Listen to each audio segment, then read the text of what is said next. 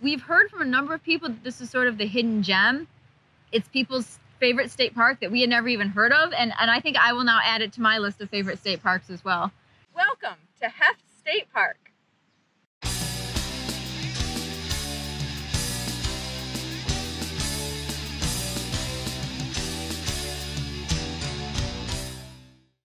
At 340 acres, Hoeft State Park isn't necessarily a really large park, but it, it has a lot to offer. Uh, it has about a mile of shoreline on Lake Huron, and something very unique for something on Lake Huron, it has sand dunes and a good sized beach.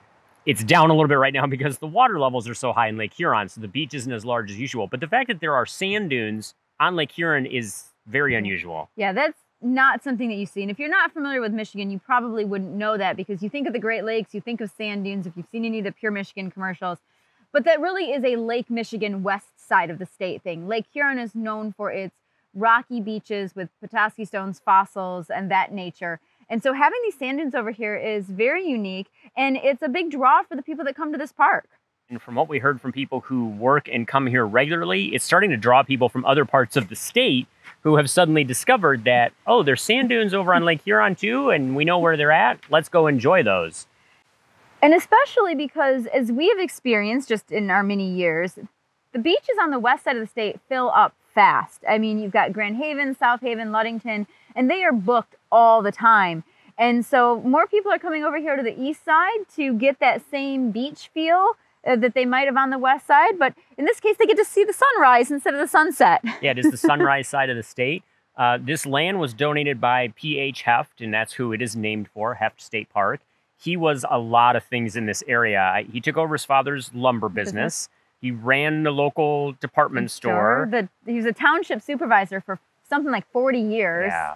He was just a big name in the Rogers City area, which is where the park is located. And I think he just, again, like we've seen in many other cases, saw what was here, the beauty, the natural part of it, and felt that it really needed to belong to the state so that everybody could enjoy it. Yeah, he ended up donating the land to the state, and this became a state park in the early 1920s. It's one of the original 14, as they like to say here. Um, and they'll be celebrating their actual centennial in the next few years, but they're yeah. helping us and everybody else celebrate the state park centennial this year a big part of keeping any state park going is the friends of programs and and we're starting to see that more just because they take a lot of passion in their state parks they're, they're residents they're people who have come here for many years and it's a good way for them to give back in many cases they're able to raise funds to help improve the parks through playgrounds or barrier free accessibility options and we had a unique opportunity to meet up with one of the friends of Hoeft State Park she gave us kind of a behind the scenes tour of what this park has to offer, and let's hear it from her in her own words what she has to say about this park. So, Arlene, what, what can you tell me about this park here? We're at Hoeft State Park up in Ro- the Rogers City area. We are. Um, I represent the Friends of Hoeft State Park, which is a nonprofit group inside the park that raises money to provide uh, equipment that isn't available otherwise. We have funded the kids' playground here. We've funded a basketball and street hockey area, um, new benches. Uh, we bought an AED last year oh. for the park. That was uh, something that we'd been needing for a very long time. Uh, what brought me here, I think, was the sunrise side and the beauty of this park. It um, it has all that most campers really want uh, sites that are wooded sites, but yet not desolate sites. Very camper friendly, very dog friendly park. Um, we are happy to welcome anybody at our park. We're getting many more West Side campers now uh, from Muskegon. Now that they've discovered this is the better side. Yes, we consider ourselves to be the undiscovered gem. So. So, what is there to do at this park? What's it, at, what is it known for? At the park, um, inside the park, of course, is the pavilion area here, which is an historic building. Just to see it and walk through it and then make the trek down to the beach is a real treat for our campers. Um, we do have uh, Explorer Guide programs that are right up by site number one that go on throughout the summer. Yeah, I saw that one of the naturalists was doing a thing on bears today. Yep, and we have done such fun things as uh, lamprey eels, where Ooh. there are actually live lamprey eels there, and kids get to see them and touch them. Yes, so because there's a biological station just up the road that does research Oh, cool. in Lake Huron on lamprey eels. So, but um, out about uh, probably 14 miles from here is Ocqueoc Falls. If you haven't heard of that, it's Lower Michigan's only waterfalls. So that is what we recommend that campers take part of their day because it doesn't take long to go to Ocqueoc Falls. They're beautiful. Kids and dogs, everybody swims in it. So Very cool. yeah, it's beautiful in the fall when There's a lot to see around here. Then. There is a lot to see. And of course, headed north, you're going towards the Mackinac City and the Mackinac Island. So Now, how long have you been part of the Friends group? the group was actually established in 2007, and I'm an official lifetime original member. Good for So, you. yeah. we appreciate and- those folks. Yeah, and I enjoy it. Um, as you may have noticed when I go around in the campground in our golf cart, the Hefty Hauler, um, I like to stop and talk with folks, find out where they're from and what brought them to our state park, which in many cases now is you had an opening, but it is now bringing them back. Well, so, that's good. I mean, we do see that the parks are full, and I think you guys have said that most weekends here the park is full. Holidays, it's, Yep, you know, for at sure, capacity, and for sure. we're, Yep. we're loving to see that. So I'm sure you are as well. We are happy to have campers come into our park store. As you can see, um, we're celebrating, all state parks are celebrating the 100 year centennial, which is obviously what you're celebrating by Yep. what you're doing. And uh, we're just happy to uh, provide campers with a few odd items that they might need that they didn't have, and t shirts and sweatshirts and caps. Um, but all the money that we raise stays within this park. So, And we have seen that through the playground and Exactly. things that you've been able to provide. exactly, right. So, it's uh, it's a treat for us. Uh, I'm a transplant, what they call a transplant up here. So, I come from downstate, retired, and uh, just once I found this park and this group, um, just totally committed. Well, great. Well, thank you for our tour today. This was most wonderful. and Yep, we- my we pleasure. appreciate the behind the scenes tour and the mm-hmm. information that we wouldn't have gotten otherwise. You're so. very welcome. So, mm-hmm. enjoy your stay, whatever you're doing from here, and safe travels. Thank you. The Friends of Hoeft State Park group work really well with the DNR staff here. You can tell they have an excellent relationship and, and they're really focused on investing in this park and making it the best they can for the visitors.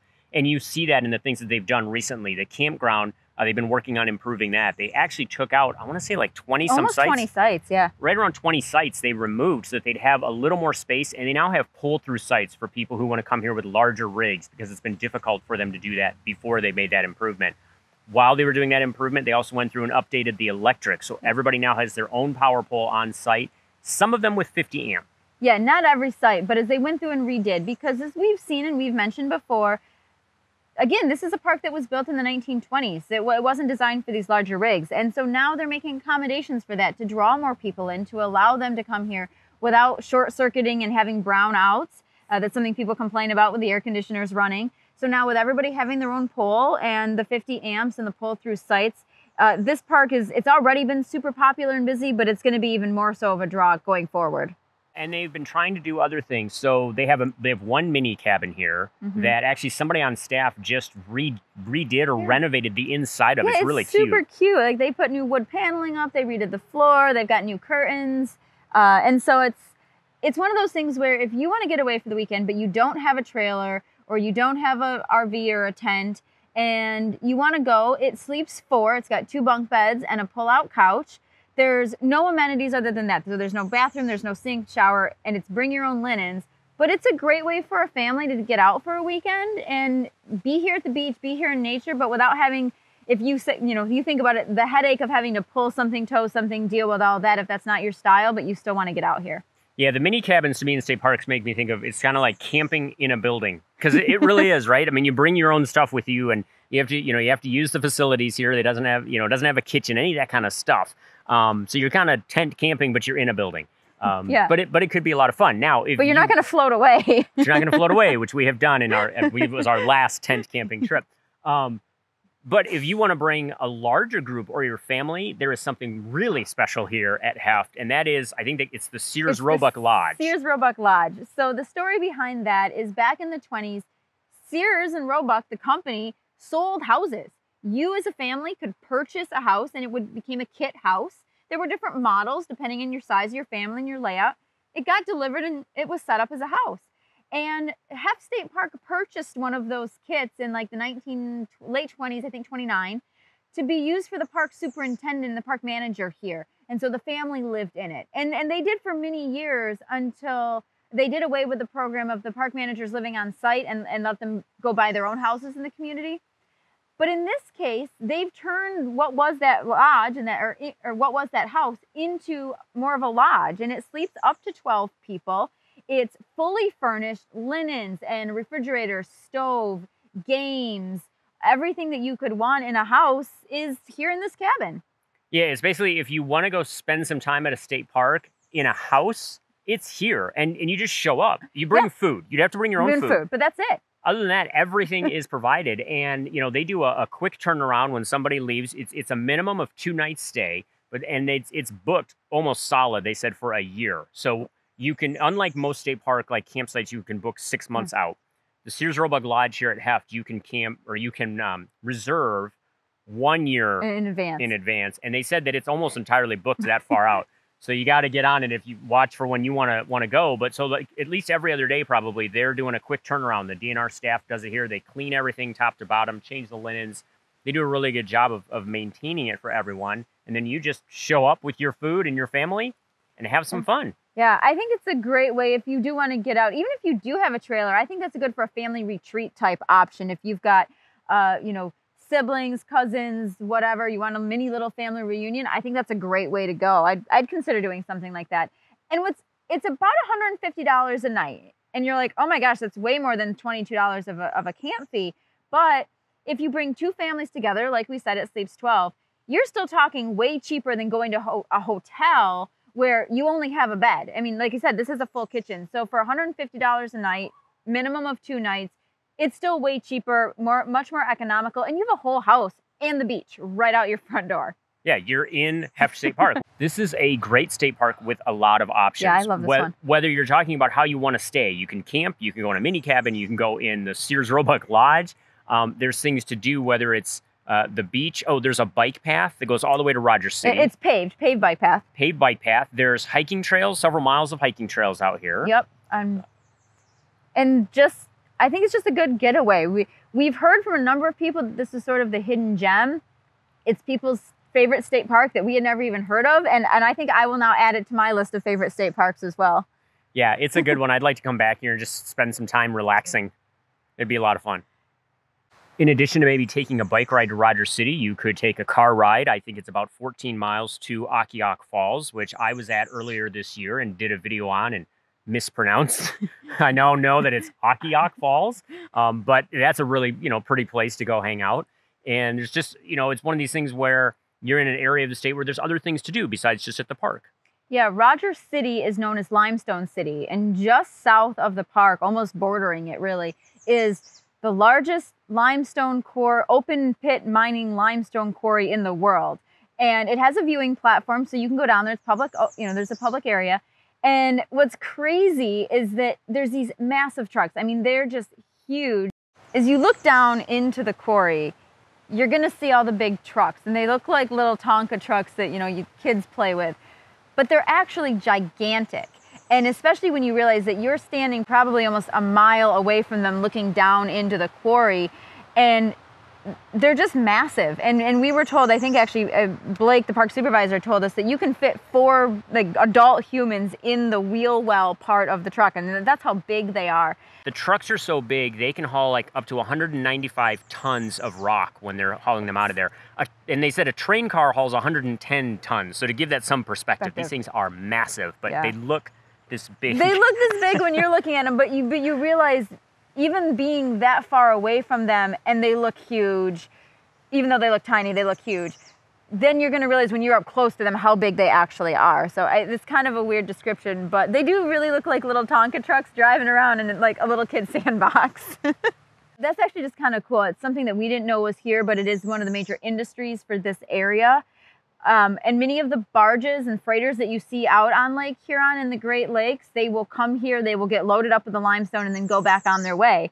And when we were out there, we saw a couple that were waiting offshore, ready to be filled and, and then go on their way. So that's just something to do here if you're in the area, if you want to stop by and see that. It's certainly a unique thing to see. And yeah, as you mentioned, there's a sort of a viewing platform where you can look down into the, the quarry and see what they're doing. And then there's also a public area where you can actually go out by the harbor where they're um, loading up the ships. So you get to see some of that too. It's just a really unique experience, I think.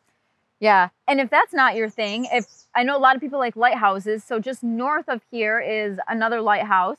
Um, so if you're on that tour, you can stay here and go up in that.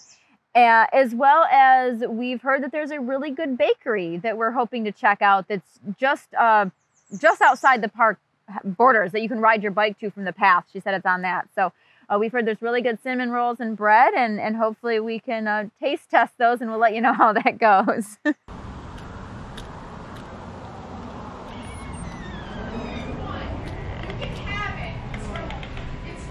It smells so good.